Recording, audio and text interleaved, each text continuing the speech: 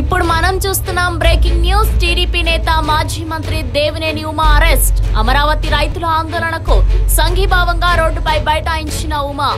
అమరావతినే రాజధానిగా కొనసాగించాలనే నినాదాలు. ఈ కార్యక్రమానికి పెద్ద సంఖ్యలో తరలి వచ్చిన రైతులు మహిళలు. నిరసన కార్యక్రమాన్ని అడ్డుకోవడానికి పోలీసుల యత్నం. పోలీసులకు నిరసనకారులకు మధ్య వాగ్వాదం.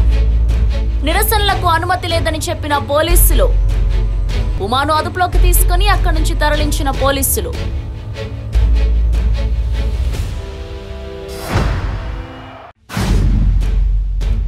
ఇప్పుడు మనం చూస్తున్నాం బ్రేకింగ్ న్యూస్. టీడీపీ నేత మాజీ మంత్రి దేవినేని ఉమా అరెస్ట్. అమరావతి రైతుల ఆందోళనకు సంఘీభావంగా రోడ్డుపై బైఠాయించిన ఉమా.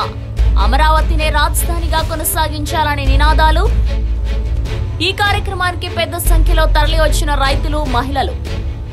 నిరసన కార్యక్రమాన్ని అడ్డుకోవడానికి పోలీసుల యత్నం. పోలీసులకు నిరసనకారులకు మధ్య వాగ్వాదం. నిరసనలకు అనుమతి లేదని చెప్పిన పోలీసులు. ఉమాను అదుపులోకి తీసుకుని అక్కడి నుంచి తరలించిన పోలీసులు.